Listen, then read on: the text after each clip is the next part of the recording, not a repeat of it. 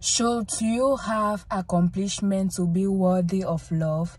To that question, I say no because there are many people that are working every day. They are seeking for acknowledgement for what they do. They want people to recognize their work, and that's their main focus of every day. In that way, you are not even you are not fulfilled in that way. You are not happy. You are not enjoying your life. You are not relaxing. So i will tell you that god is proud of you. God is acknowledging what you do. Don't seek approbation for people. Just work. Don't just do what you do eh?